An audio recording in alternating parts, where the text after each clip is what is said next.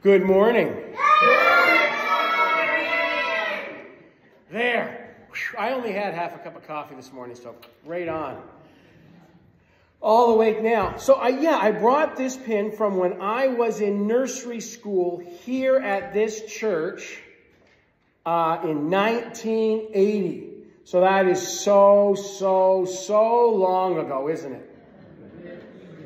That is, you know what they call the music that came out during this time oldies now? That's painful for me. Huh? Oh, I'll play it for you in the car later. But when I started in Sunday school here, in nursery school, there was a lot more children in the congregation. And we, we all had these pins because it was a lot harder to remember all of the names of all the children. There were so many children. And if you want to see the pictures of them, they're still downstairs. You can see me when I was like Ben's age. Yeah, yeah, I was your age once. And I won't ask you to tell him about the stuff that I got away with here because he's up to enough things as it is right now. But it is so important to have these cherished memories I mean, it's just a little button, right?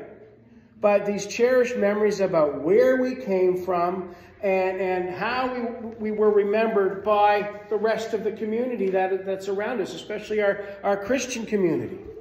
You know, there are parts of the Bible that really get picked on for being boring. Has anyone here tried to read through the Bible and found certain sections? Oh, this is so boring. And it's usually the list of what? What do you find boring in the Bible? It's okay. Safe environment. We can talk about our faith, even critically here.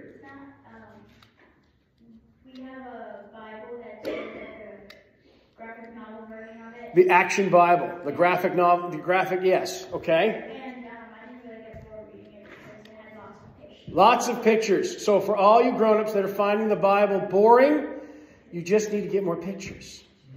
Okay? Just get an Action Bible and just, it works. But there are parts of the Bible that aren't deeply covered by the Action Bible, and that's the lists of names. Leviticus and Deuteronomy and Numbers those books of the Bible have a whole lot of names. And then you get to Chronicles, and it has a whole pile of names. You even start off some of the Gospels, and there are long lists of names there. Why? One, yeah, so we know who's in the story, who's involved. But why else? Um, so that we know how all of these different people connect to Jesus. Right on, Ben. And I remember that I was connected to Jesus.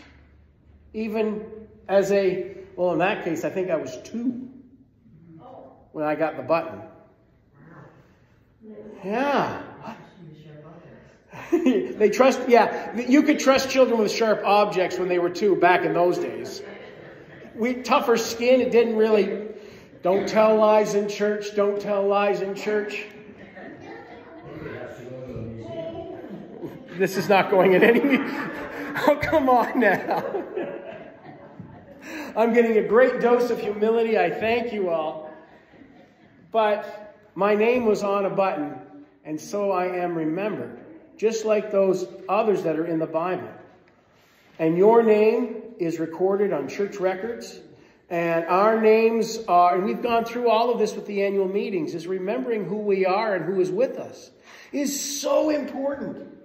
And the session is now working on a directory so we can make sure that we're staying connected and communicating with people, which is so important. And yes, there are times where we sit back and we remember people that they're not in front of us, but we knew their name. And they knew they were a part of this fellowship, and we look forward to them and the fellowship God is keeping in his kingdom, where our names are written down also in the book of life. Let us pray. Thank you, Lord, for the people who remember us. Thank you for the names that have been all around us in life, who have encouraged and inspired our faith. Lord, we thank you especially for those who are no longer with us here, but are with you, who are waiting for our fellowship to be reunited. Lord, that we can always remember that once our name is put down in your book, it is never lost or forgotten. Lord, we're thankful for all the names in the Bible, even though it's sometimes hard to read them all. Remember that there is a multitude of people who have worked to serve you, who have struggled to be faithful, just like us. Lord, we, we pray all this in Christ Jesus' name. Amen.